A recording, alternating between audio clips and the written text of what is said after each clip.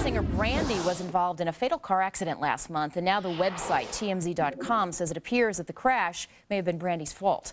It happened on the 405 freeway in L.A. Police report that Brandy did not notice that the cars in front of her had slowed down, and apparently she crashed her Land Rover right into the car in front of her, causing a chain reaction. The singer issued a statement saying she was involved in a fatal car accident and expressed her condolences to the family of the deceased. One driver was taken to the hospital in critical condition and later died. Brandy was not arrested. There is apparently no evidence that any drugs or alcohol were involved.